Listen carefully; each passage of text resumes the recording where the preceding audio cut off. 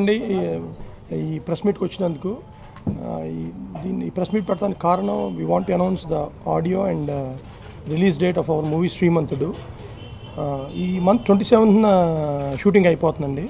And one month post production ఉంటుంది. So we're going to do audio on July eighteenth and we going to release the movie worldwide on August seventh అండి. August ninth Mahesh Babu గారి birthday.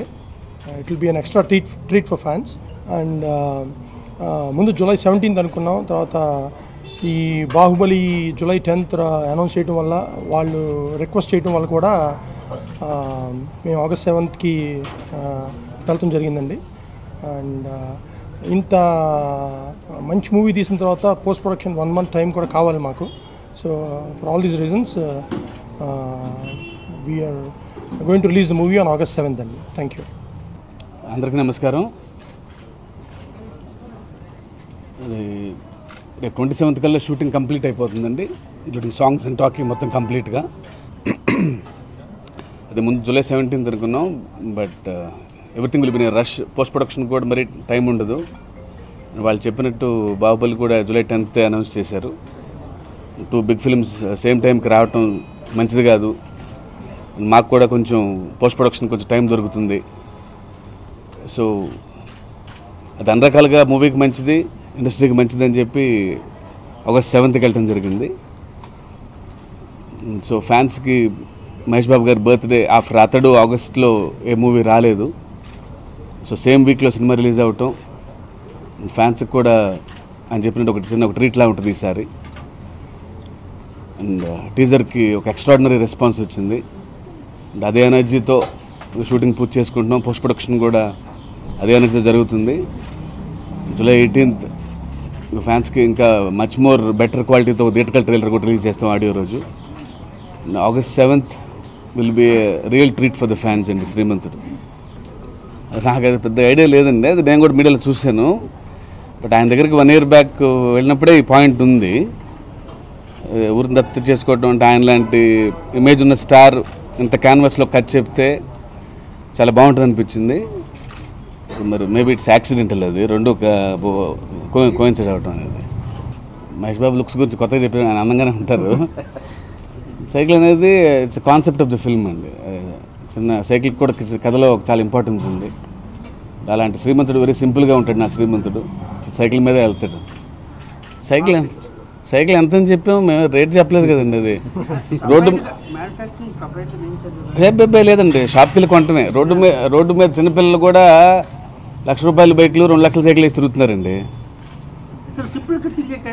అవును cycle మీద తిరగటమే. ఇప్పుడు Rolls Royce బెంట్లీలు వేసుకుని యాభై లక్షలు పెట్టి కారు కొనే బదులు ఆ రెండు లక్షలు పెట్టి సైకిల్ మీద వెళ్ళటమే ఉంది. కాదండి ఇప్పుడు కమర్షియల్ సినిమా అన్నప్పుడు హీరోని ర్యాలీ సైకిల్ అన్న హీరో సైకిల్ హంబర్ సైకిల్ పల్లెటూరులో సైకిల్ తిప్పితే బాగోదు. లేదండి అంటే జూలై సెవెంటీన్త్ మేము ఆల్మోస్ట్ ఆయన మే వాళ్ళు బాహుబలి వాళ్ళు మే అన్నప్పుడు మేము జూలైకి వెళ్ళామండి. యాక్చువల్గా నేను ఫస్ట్ మే అనుకున్నాను ప్లీజ్ సమ్మర్కి వద్దామని సో వాళ్ళు మే అన్నారని రాజమౌళి గారు మేము జూలై సెవెంటీన్త్కి వెళ్ళాం. సో తర్వాత వాళ్ళు జూలై టెన్త్ అన్నారు. అది కూడా అఫీషియల్గా చెప్పలేదు వాళ్ళు. సో వాళ్ళు అఫీషియల్గా అనౌన్స్ చేసిన తర్వాత మనం అప్డేషన్ తీసుకోవచ్చు. ఆల్రెడీ జూలై సెవెంటీన్ అని చెప్పి అనౌన్స్ చేయడం జరిగింది. సో జూలై టెన్త్ అని వాళ్ళు అఫీషియల్గా ఎక్కడ చెప్పలేదండి. అది మామూలుగా చిన్న మీడియాలో న్యూస్ తప్ప ఎవరు అఫీషియల్గా ఎక్కడ ప్రెస్ మీట్ పెట్టి కానీ జూలై టెన్త్ రిలీజ్ వరల్డ్ ఇవ్వడం కానీ రాజమౌళి కానీ ఎక్కడ చెప్పలేదు. జూలై అన్నారు తప్ప మేము జూలై సెవెంటీన్ అన్న తర్వాత. సో వాళ్ళు అఫీషియల్గా అనౌన్స్ చేసిన తర్వాత గారికి ఒక డిస్కషన్ ఉంటుంది ఇద్దరి మధ్యలో. అప్పుడు మనం డెసిషన్ తీసుకోవచ్చు అనుకున్నాం తప్ప మన వాళ్ళు మే అన్నప్పుడు మేము జూలైలో మేము జూలై అన్నాం. ఎక్స్ట్రాడినరీ ఫ్యామిలీ డ్రామా ఉంది అసలు అంటే అసలు నా ఏ కథలోనూ ఫ్యామిలీ డ్రామా లేకుండా అసలు impossible రాయనది.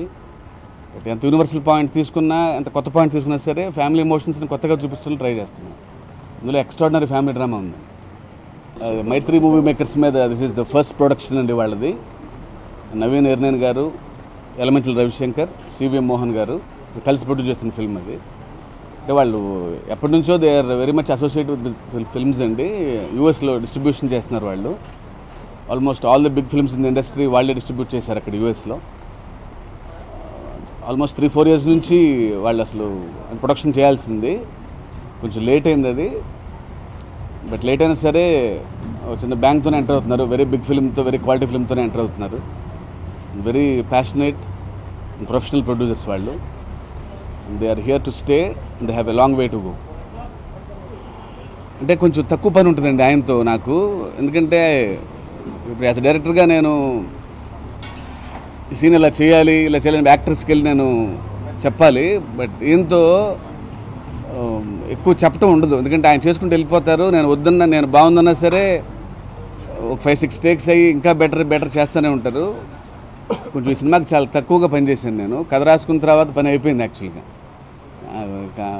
it is a director's delight అయినా సీన్ నా నాకన్నా రాసుకుంది నేనైనా సరే నాకన్నా ఎక్కువ ఓన్ చేసుకొని బాగా అర్థం చేసుకొని చేయగల యాక్టర్ ఆయన. వన్ ఆఫ్ అంటే one of the greatest actor in our times అలాంటి యాక్టర్తో ఇంత ఎర్లీగా సినిమా చేయడం అనేది I feel very much lucky అండి. ఫస్ట్ లుక్ జస్ట్ ఒక చిన్న టీజర్గా కాన్సెప్ట్ ఆఫ్ ఫిల్మ్ చెప్పాలని నా- ప్రయత్నం తప్ప అన్ని ఆస్పె ఆస్పెక్ట్స్ ఇంకా టచ్ చేయలేదు. థియేటికల్ ట్రైలర్లో ఇంకా డెప్త్కి వెళ్ళి అన్ని ఆస్పెక్ట్స్ ద రిమైనింగ్ కాస్ట్ అన్ని యాంగిల్స్ ఓపెన్ చేస్తాను. బట్ ఫస్ట్ ఏంటంటే చిన్న నా సినిమా కాన్సెప్ట్ ఏంటో చెప్పాలనే ఉద్దేశంతో ఓన్లీ ఆయన మీద ఫోకస్ చేసి నా కథ చెప్పే ప్రయత్నం చేశాను కాన్స్ టీజర్లో అంటే కథకి ఎంత యాప్ట్గా ఉంటే అంత అలాగే మాట్లాడతారండి. ఎక్స్ట్రాగా వెళ్ళి పంచెస్ రాయటం అది నేను ఎప్పుడు చేయలేదు. ఆయన కూడా అలా మాట్లాడే వ్యక్తి కాదు. క్యారెక్టర్కి ఎంతవరకు మాట్లాడాలో అంతవరకు మాట్లాడే క్యారెక్టర్ అది ఇదితో ఆల్మోస్ట్ అంటే నాకు మిర్చి కూడా దేవిశ్రీ ప్రసాదేనండి అంటే నా టెక్నీషియన్స్ అంతా కొంచెం స్క్రిప్ట్లో ఎక్కువ ఎక్కువగా ఇన్వాల్వ్ అయ్యే టెక్నీషియన్స్నే పెట్టుకుంటాను నేను. బీట్ దేవిశ్రీ ప్రసాద్ గారు కానివ్వండి నా cinematographer Madhi and my art director Prakash మా- నా నా లిరిసిస్ రామజోగే శాస్త్రి గారు కానీ అంటే వాళ్ళు ఫస్ట్ నుంచి కథ వింటారు వచ్చు. వాళ్ళు ఫుల్ నరేషన్ తీసుకొని ఈ కథకి ఎలాంటి సెట్స్ వేయాలని ఆయన ఈ కథకి ఎలాంటి పాటలు రాయాలని. అంటే అన్ని పాటలు కథకు సంబంధించిన పాటలే. డూయట్స్ చాలా తక్కువ సినిమాలో. సో వాళ్ళు త్రీ అవర్స్ కథ విని సిక్స్ మంత్స్ బ్యాకే కథతో ట్రావెల్ అయ్యి పాటలు రాయటం కానీ మ్యూజిక్ కానీ ఏదో క్యాచ్గా ఉందని ఒక ట్యూను ఒక చిన్న మాస్ నెంబర్ ఇలా కాకుండా స్క్రిప్ట్లో బాగా ఇన్వాల్వ్ అయ్యి చేశారు నా టెక్నీషియన్స్ అంతా. చిన్న దేవిశ్రీ ప్రసాద్ కూడా. ఆల్మోస్ట్ రేపు జూలై ఎయిటీన్త్ మీరు సాంగ్స్ వింటారు మీరు. అంటే కథను ఎక్కడ మిస్ అవ్వకుండా అట్ ద సేమ్ టైం కమర్షియల్గా క్యాచ్గా ఉండే ట్యూన్స్ ఇవ్వగల మ్యూజిక్ డైరెక్టర్ నాకు తెలిసి Devi Sri Prasad. So has done the best job again Mirchi కంటే బెటర్ జాబ్ చేశారనుకుంటున్నాను. అసలు స్టార్ కాస్టింగ్ ఎంతమంది? జ్యోతిబాబు గారు ఆంధ్రప్రసాద్ నాన్ అఫోర్డబుల్ ఏం కాదు కదా. మహేష్ బాబు సినిమాకి కూడా జ్యోతిబాబు గారు ఆంధ్రప్రసాద్ కూడా హెవీ బడ్జెట్ అయితే ఎలా it's not it's it's in the budget అది. ప్రాబ్లం ఏం లేదండి. చాలా పక్కాగా జరిగిన సినిమా అంతా అందరం వెరీ హ్యాపీ వాళ్ళు ఎప్పటి నుంచో అంటే మహేష్ బాబు గారి సినిమాలన్నీ అక్కడే వాళ్ళే ఎక్కువ చేశారండి. ఫ్రమ్ దూకుడు నుంచి.